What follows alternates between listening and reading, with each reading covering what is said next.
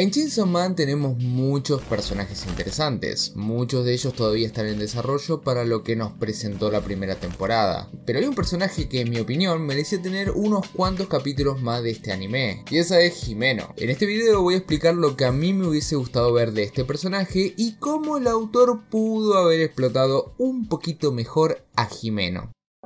Jimeno es uno de los líderes del Escuadrón 4 en el cual está Denji Yaki. De las primeras interacciones que tenemos con este personaje nos deja ver que tiene un contrato con un demonio bastante bastante poderoso. Y como ejemplo está ese intento de amenaza de Power y cómo Jimeno la limita con un solo movimiento. Con una sola escena nos remarca lo poderosa que es y sus habilidades son bastante curiosas, nos da cierto interés a nosotros como espectador. Así que podemos decir que Jimeno como carta de presentación y diseño de personaje ya llama la atención. Pero si nos vamos en tema de historia, ahí la cosa ya va cambiando. El autor se deshace muy rápido de Jimeno y solo vemos una máscara del personaje.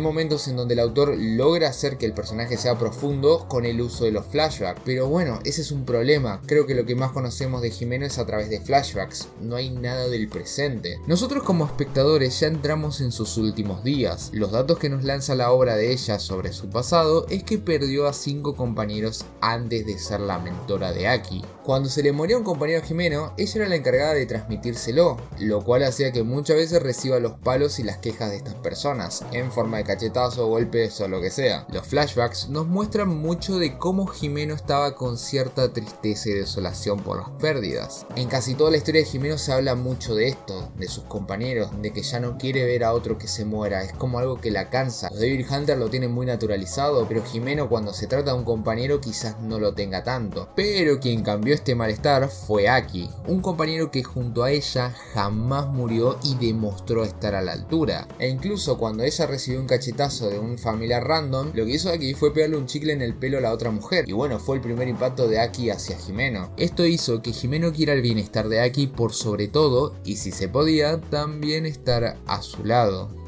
Ok, hasta acá tenemos toda la historia de Jimeno. Si tomamos en cuenta los puntos en los que aparece en la historia, solo tiene tres momentos. Cuando aparece el demonio del tiempo, en una fiesta, la charla final con Denji y se acabó para uno de los personajes con mayor potencial.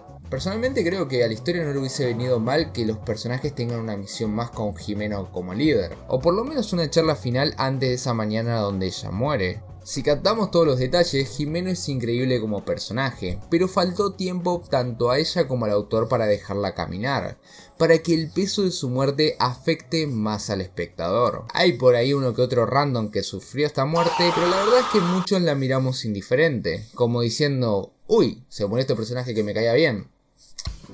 No logramos empatizar del todo, pero bueno, ahora más adelante seguimos hablando de eso. Pero bueno, ahora lo que quiero contarles es que estuve haciendo trabajo de investigación y me estuve leyendo el manga de Chainsaw Man. Está bien. Para ver si esto era un problema que solamente pasaba en el anime y que capaz que en el manga ya no pasaba. Pero la realidad es que no. Sí que sentí que hay momentos en los que Jimeno brilla más en el manga, ya que el panel del dibujo en ciertas escenas parece cobrar más importancia que en los del anime, pero aún así su tiempo en la historia sigue siendo muy corto. Me parece asombrosa la capacidad del autor para crear un personaje secundario icónico o de relevancia para los principales tan poco tiempo como lo pueden ser solamente dos tomos. El error no es que Jimeno muera, el error es arrebatarle su objetivo antes de que ella aunque sea intentase conseguirlo. Entiendo que en la vida real situaciones así estén en la orden del día. Mucha gente no logra lo que se propone, mucha gente muere antes de esto. No todas las personas logran lo que quieren. Y estoy de acuerdo con esta decisión del autor de hacer que Jimeno jamás pudiese concretar algo con Aki. Pero sí que creo que debió haberle dado más momentos. Quizás un momento estilo Denji pero con Aki. Solamente una escena, una en la que esté Aki y Jimeno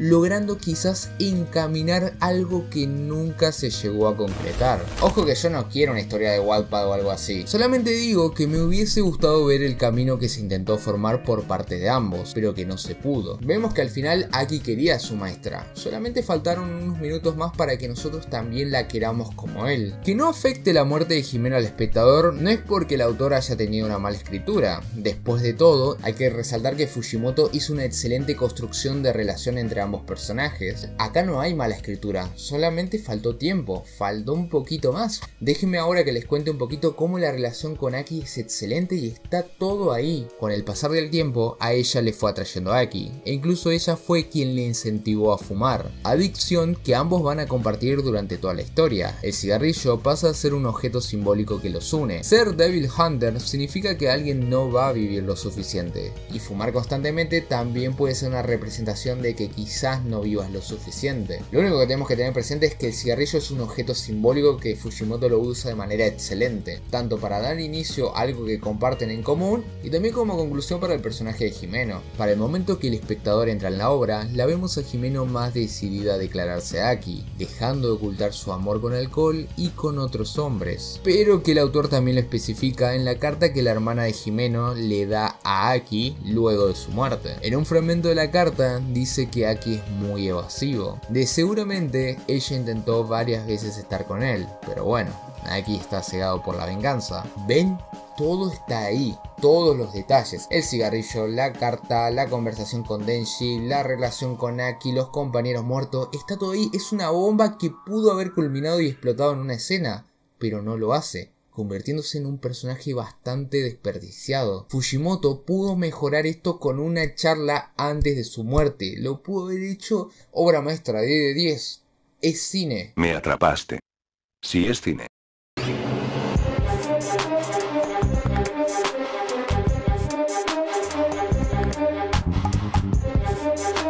Pero bueno, lejos de seguir hablando de lo que le faltó cuando ella estaba viva, sí que tengo que decir que todo lo posterior a su muerte está espectacular. Yo creo que ahí el personaje cobra más valor que cuando está viva, ya que logra incentivar que la tarada de Kobeni haga algo y también darle más peso a Aki. Sí, le digo tarada a Kobeni porque realmente en el anime sí se siente como una tarada, algo que en el manga no. Y eso es un tema para otro video. Siguiendo con Aki, él logra darse cuenta de la gran mentora que perdió. Me gusta cómo Jimeno falla al intentar proteger a Aki, otorgándole todo el cuerpo a su fantasma para así poder hacer algo contra el demonio de la katana. Pero incluso, aún habiendo muerto sin poder hacer mucho, es ella que con el último aliento de su fantasma activa el pie de motosierra. Todo para proteger a su pupilo y su amor que no fue. La verdad es que yo creo que esta muerte tenía el potencial de ser como por ejemplo cuando a Shikamaru se le muere a Suma o a Naruto Shiraira. Tenía ese potencial. Pero no, ese estado de ánimo se transmite a Aki pero no al espectador. Y todo este video no es para desprestigiar a Jimeno, ya que creo que fue un personaje secundario con gran potencial, pero que voy a seguir insistiendo en que merecía más tiempo.